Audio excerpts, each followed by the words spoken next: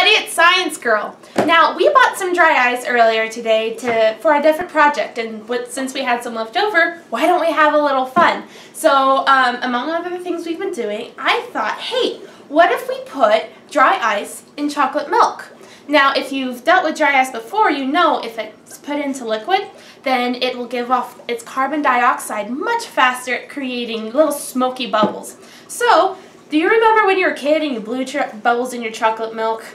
Well, I think we're going to bring that to the next level, okay? So I'm going to get my dry ice here. Now, dry ice is very, very cold, so never ever touch it with your bare hands. Always use a tool like I am or heavy-duty gloves. So here we go. Let's see if this works. Yep, there it goes. Ooh, it's even popping and making those cool smoke streams. And it's starting to overflow. Uh, never suck in the bubbles. I think that might hurt. Don't ask me how I know that. Uh, okay.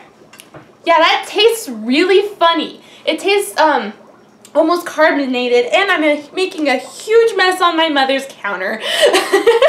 She's right behind the camera just smiling. That's why I love my mom. She loves it when I make a mess, but she makes me clean it up too, which is perfectly understandable because when you're doing a science experiment, always clean up after yourself. But look at that, isn't that so cool?